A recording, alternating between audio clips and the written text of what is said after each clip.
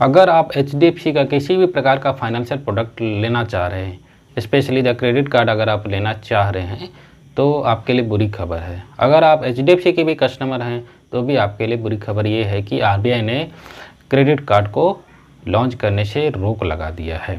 तो यानी कि यहाँ पे एच अब किसी भी प्रकार का क्रेडिट कार्ड जो डिजिटल 2.0 है, या किसी प्रकार का ऐप जो लॉन्च नहीं कर सकती है।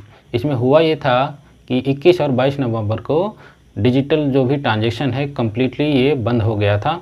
मतलब 21 और 22 नवंबर को पूरे पूरे 12 घंटे के लिए कोई भी ट्रांजेक्शन नहीं हो रहे थे। यानी कि फ़ंड ट्रांसफ़र आईएमपीएस जो भी है, डिजिटल ट्रांजेक्शन पूरी तरह से ठप हो गया था। तो इसमें क्या है, एचडीएफसी ने ये बताया कि यहाँ जो है, जो भी उसका डेटा सेंटर है, वहाँ पे पावर कट हो गया था।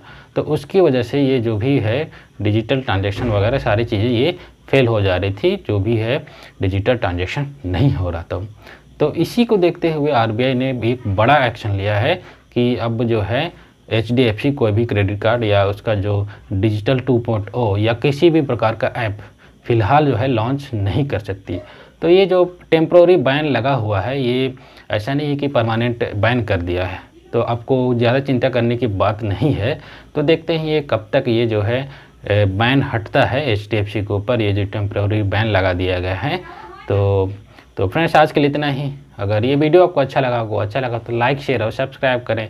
कुछ डाउट है तो नीचे कमेंट्स करें। Thanks for watching the video